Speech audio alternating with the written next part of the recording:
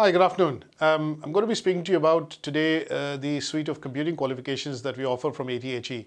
Now, the ATHE suite of qualifications are at level 4 and 5 and they are called Diploma in Computing.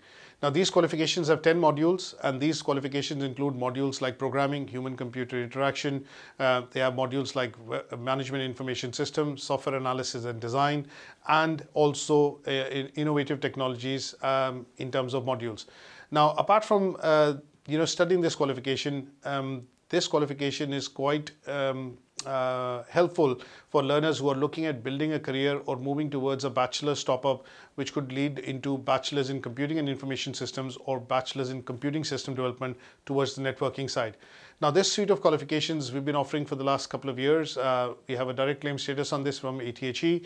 Learners can completely um, uh, choose UKversity online with confidence and come in and achieve this qualification with us.